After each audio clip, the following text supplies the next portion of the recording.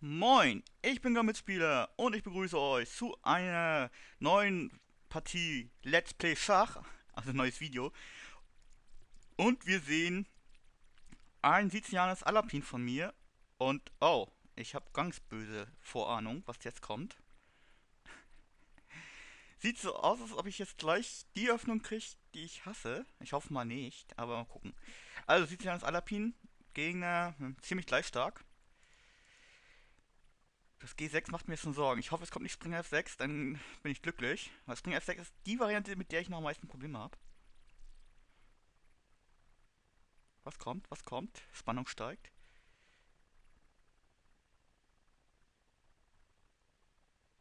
Er überlegt. Das ist kein gutes Zeichen. Dame D5 wäre klasse. Springer F6 wäre unangenehm. Weil ich da noch nicht hundertprozentiges Mittel dagegen habe. Hm, was kann ich denn sonst überlegen? Läufer G7? Dame A5? Springer D7.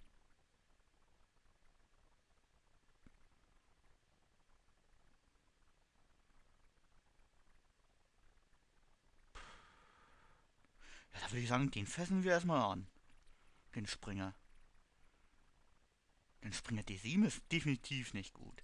Jetzt gehe ich zurück, kommt wahrscheinlich B5 und dann läuft er B3 und dann habe ich einen soliden gedeckten Bauern da. Glaube ich zumindest, hoffe ich zumindest.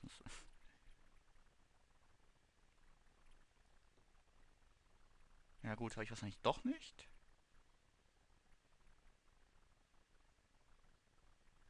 Aber ich könnte ja...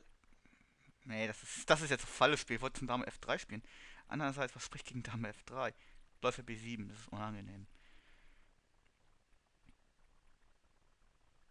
Aber jetzt sehe ich das Problem an seiner Variante. Ich kann jetzt D6 spielen. So also die Idee mit Dame F3 ist vielleicht gar nicht mal so dumm.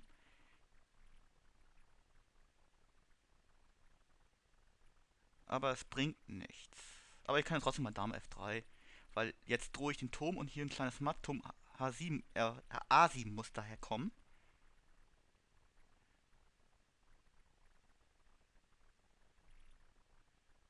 Ja. Gut, der geht natürlich auch.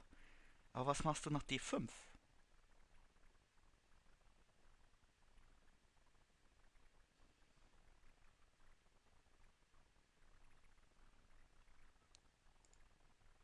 Und dann noch Springer C3. Eigentlich stehe ich recht solide jetzt. Bin ich zumindest der Meinung. Ich muss bloß noch die Rochade hinkriegen. Und dann bin ich glücklich. Dann jetzt Springer E2. Und dann kurz rochieren. Eventuell noch Läufer F4 vorher einstreuen.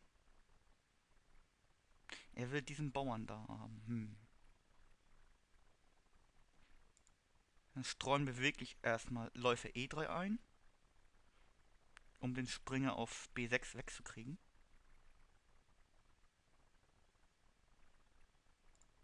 Gut, Rochade.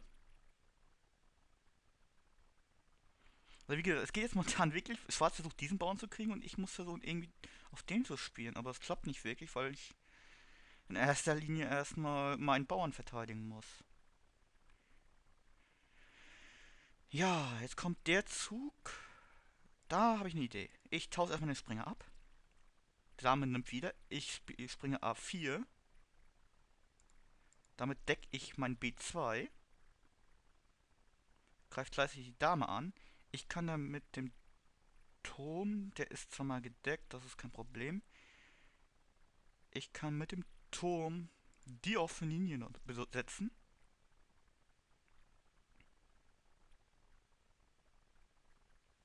Jetzt will er meinen Springer abtauschen. Muss ich zugeben, das fällt mir etwas.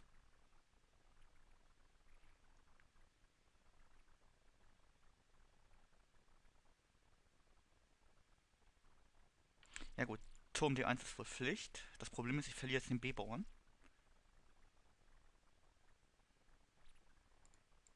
das ist vielleicht ein kleines Problem. Andererseits, ich habe hier auch gute Potenzial, hier noch durchzubringen und auf den Bauern zu spielen. Jetzt muss er natürlich erstmal einen Läufer schützen.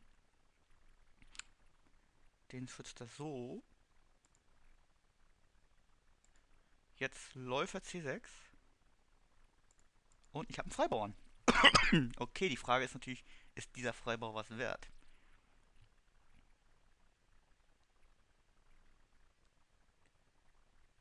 Jetzt könnte man spielen. Ich möchte den Springer aktivieren.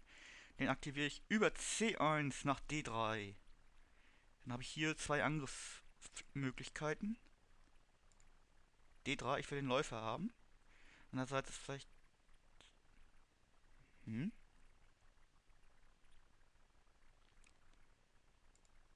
Dame D5. Ah, jetzt weiß ich, was sein Plan ist. Das ist natürlich unangenehm, der, die Idee. Aber sehr gut nachvollziehbar.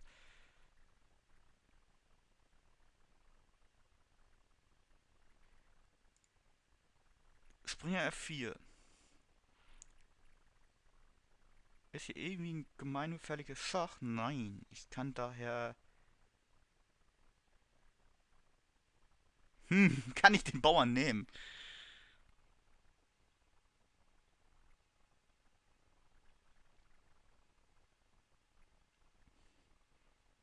Ich sag mal, ich kann ihn nicht nehmen, aber ich nehme erstmal die Dame, die Dame weg. Dann spiele ich Springer D5, greife seinen Läufer an, drohe hier eine Gabel. Die Gabel sieht er nicht. ja, Blitzfalle. Böse Blitzfalle. Tut mir leid, das war das war schon fast unfair. Jetzt hab jetzt stehe ich besser. Auch wenn es ein bisschen sehr glücklich war, gebe ich ja zu. Aber es war auf jeden Fall eine sehr interessante Variante. So, jetzt wollen wir mal mit dem König raus, nicht, dass ich auf irgendeinen dummen Zufall in einen Matt reinlaufe. Das muss ja nicht sein. Äh, was haben wir denn hier? Ein Schach bringt, glaube ich, nichts. Ich laufe mit dem König mal weiter raus. Weil der ba Turm deckt ja Feld D2. Ich laufe König D3. Ich laufe, versuche jetzt hier auf die Randbauern zu kommen. Noch ein Schach. Turm angreifen. Ich vermute mal jetzt Turm D4, dann kommt Leu ja. Dann eben nicht Turm B B4, dann erstmal H3. Der ist gedeckt.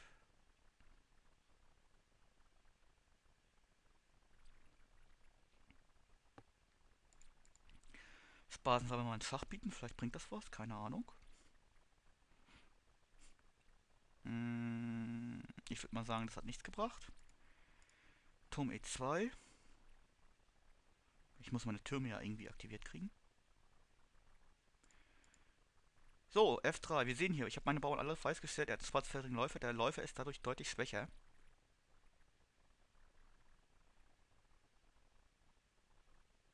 So, jetzt die Idee. Ich muss versuchen, die Türme so loszuwerden. Den schwarzen Turm.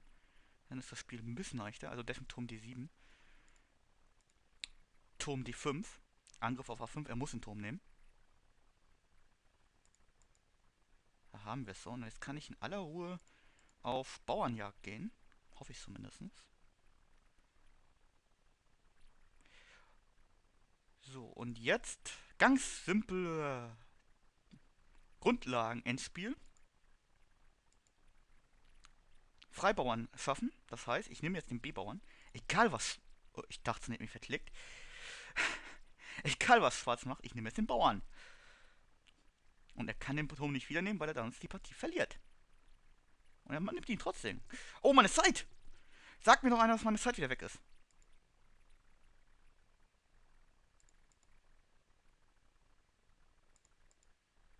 Ja, die Zeit. Ja, gut, die Partie habe ich leider nach Zeit verloren. Auch wenn die Partie... Oh, schade. Dame? Ja, gut, vielleicht habe ich noch eine Chance. Irgendwie... Schach? So. Ah, ja.